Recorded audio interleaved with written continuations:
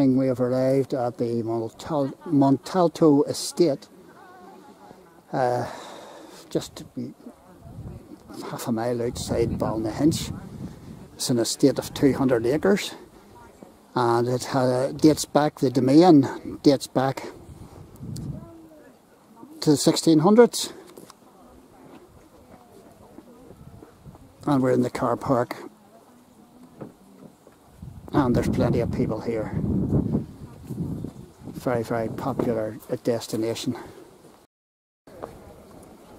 The uh, present estate owners, the Wilsons, have owned the property from 1995 and uh, whenever they, they took charge of it, they did a major, major uh, refurb and uh, brought in special architects and whatnot to restore all the uh, Georgian features. There's uh, miles of trails here and there's a multitude of gardens of different types.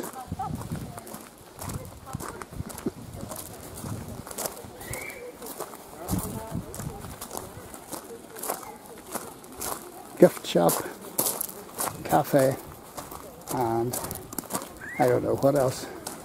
A bit like a National Trust property.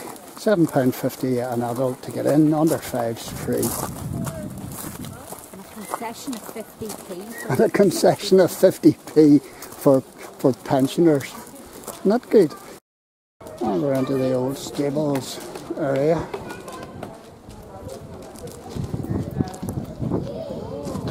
And an old pump.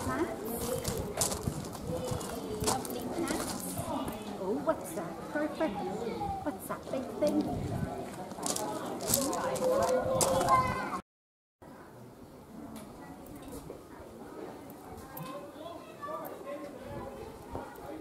Oh, this is very nice here. Peter, if I walk all the way around and maybe get in at the other, oh, you know. Uh,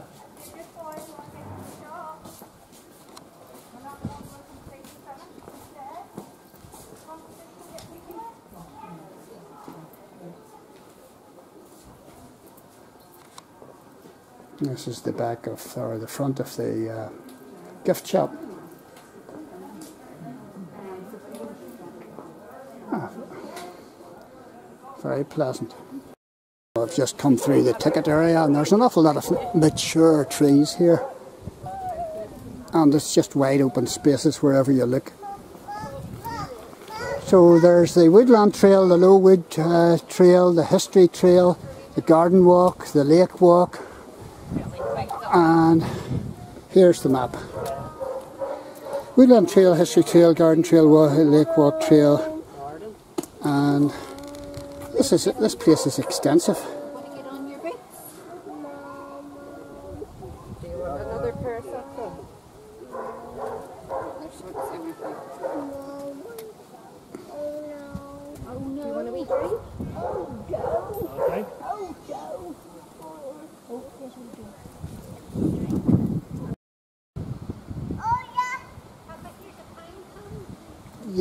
Plenty of pine cones, some very mature trees here, and I reckon that, that there is a squirrel feeder. Ta-ta! And I believe, I believe there, that's the grandchild, I believe there are quite a number of uh, red squirrels in here. Not that we're likely to see one, unfortunately. And under a previous uh, owner, 50,000 new trees were planted here, birch and, and uh, such like, such a uh, diversity of trees. And I see more planting going on over here. All sorts of hidden surprises here amongst the trees, birch, beech and, and Douglas firs featuring prominently along with the, the sycamore. and there's plenty of fungi too. These are oak for the most part being planted. And everywhere you turn, evidence of new planting going on.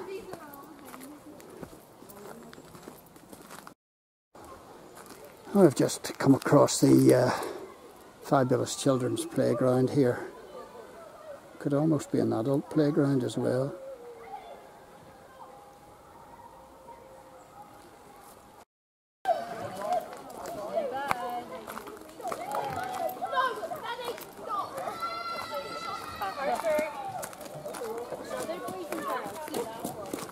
The other boys and girls. The ladder's going. No, it's too much. Maybe on the way home. And this place is full of surprises. Again, this is a massive play area. Uh, obviously designed for different ages of youngsters. And they've got a wee coffee booth while you sit and watch your child. Excellent.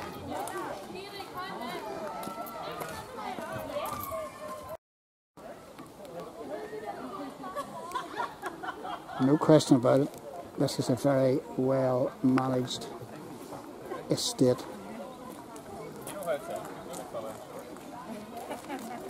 And there's plenty for youngsters to do. Seem to have thought of everything.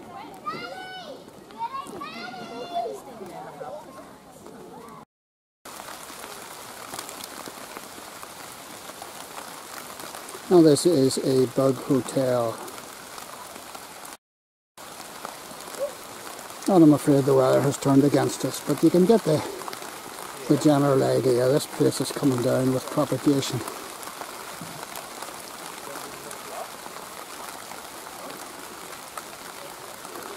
It's like a nursery. And as you can see, the uh, weather has turned against us. There's a, a courtyard here beside the cafe. Excellent cafe, massive. Ah, it's just disappointing once again. And we've got a few sheep that have got out. We've just come onto the uh, the lake walk. Funny it's called that, mind you. We've just come onto the lake walk. And there's a big house.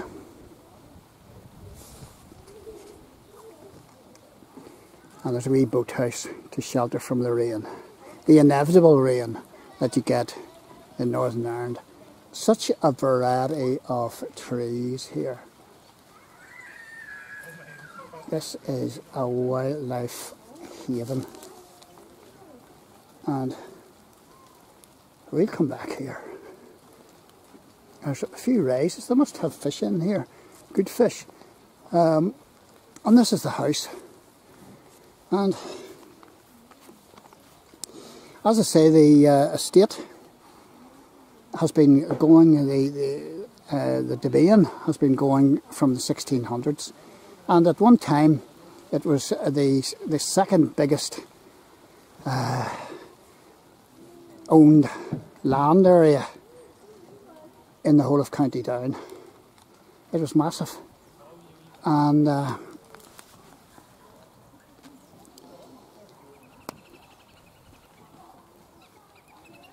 the original uh, owner was a Patrick McCartan, and he was executed um, in uh, just after the 1641 rebellion.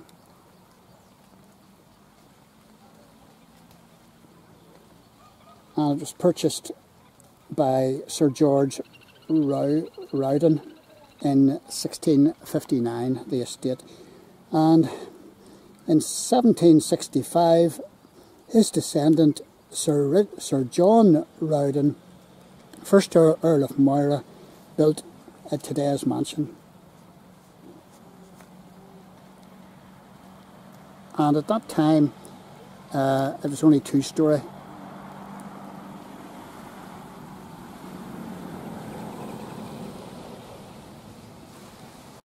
Just such a variety of uh, plant life here. You know, it's just just amazing. Wee shelter for you out in the rain.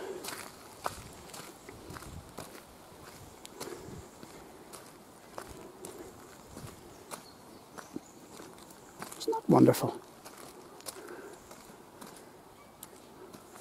Oh, there's a there's a there's a cat up on the roof. So maybe it's a, a witch's house. I don't know. Although we have a cat and we're not witches.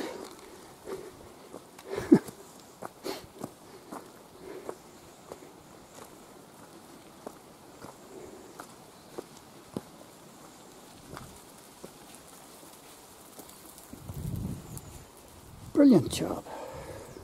I wonder can you and this looks as if it's the uh, the the result of Storm Elaine, which has just passed us in this last few few days. Some colossal trees here.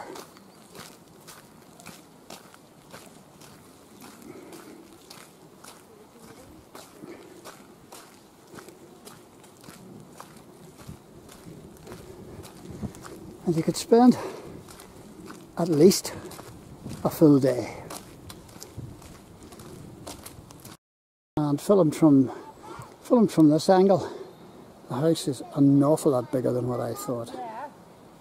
And I had a fire here in the west wing some time ago, but the, the frontage and the east wing weren't damaged at all. So we're heading up towards the, the, the house here. This is uh, the main driveway, and all of these uh, surfaces were at one time concreted. And who did the concreting? Well, the American forces did it whenever they were billeted here in the Second World War. They concreted all these driveways, and uh, they, these ones here have been tarmacked.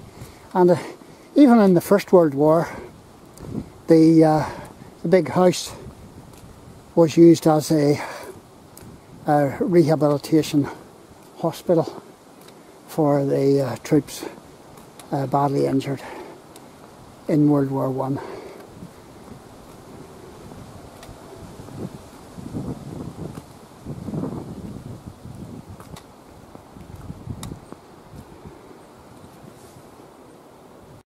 A nice example of a white, a white buddleia. You don't see white buddleia about so much anymore.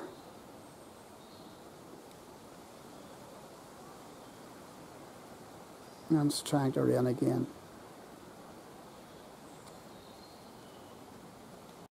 Maybe have, does it have uh, like... Here we are approaching Yes.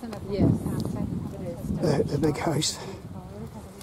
I'm just totally amazed by these, some of the, the sizes of some of these trees. Imagine them waking up every morning to that view.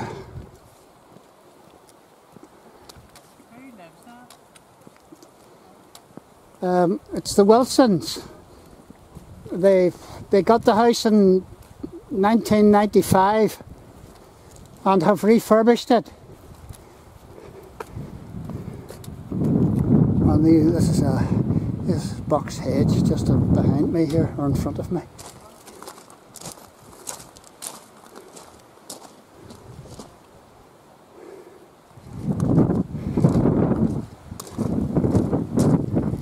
And as I say, it's used as a, a, a premier a wedding venue and corporate events.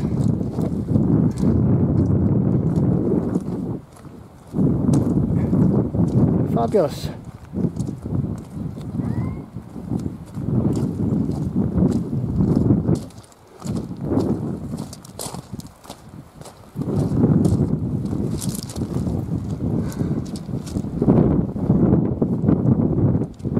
It's good to see a place like this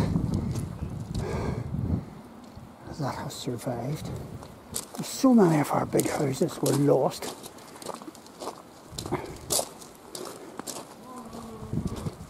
And one of the main reasons was uh, the, the owner couldn't couldn't uh, afford the upkeep and pay the rates. So wh- what inevitably happened was that to lower the, the ratage value, they, they, they took off the roofs. And of course, whenever they did that, within within a year the house was busted. No use. Right. I mean, that's what I call wanton vandalism. This is just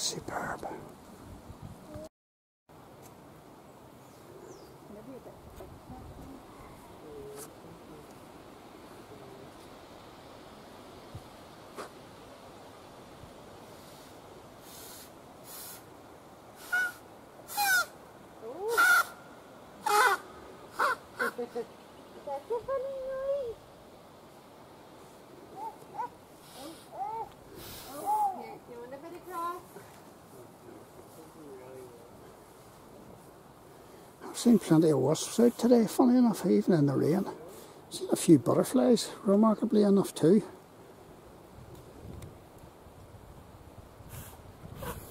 Fabulous place. And they've even got a summer house. Or maybe it's a reading room or get away from the wife room.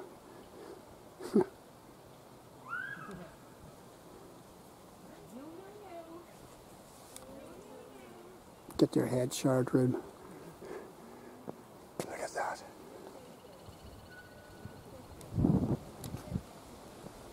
My goodness gracious. I'd like to date some of these these older trees. Must be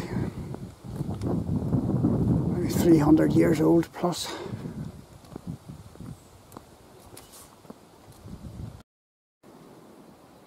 And we've just branched off again and we're on the garden walk.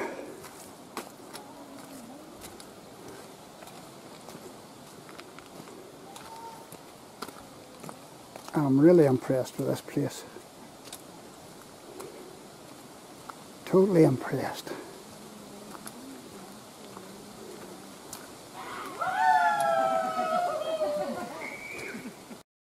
And in the end, we never made it to the garden walk. The rain's coming down, and with my sore hip, uh, it was just too much. But we'll be back again.